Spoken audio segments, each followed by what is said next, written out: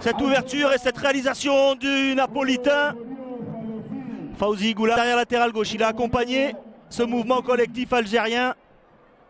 Et c'est son deuxième but en sélection. Et l'appel avec du sang-froid sur cette louche de Riyad Mahrez, Fauzi Goulam.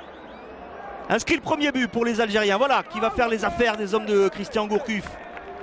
Ça va les rassurer sur ce terrain très compliqué. Ah, il est superbe. Ce but de Fauzi Goulam. 20e sélection avec les Fenech. Des joueurs du Lesotho. Azedine Douka battu.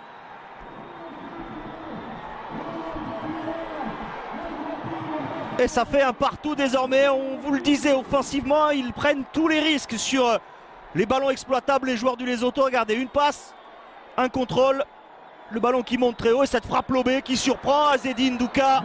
Désormais entre le Lesotho et l'Algérie. Ah, ce geste, il est remarquable. Ce contrôle orienté, le ballon qui monte très haut, la volée limpide.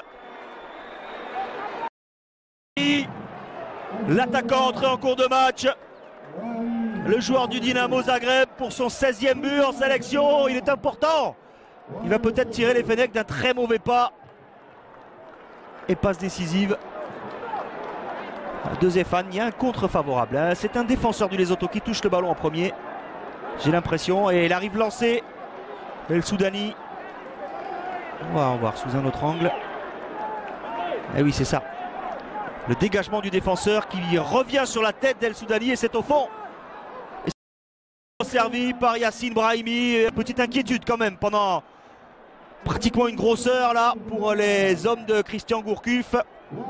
Ah, il est venu de loin, Brahimi.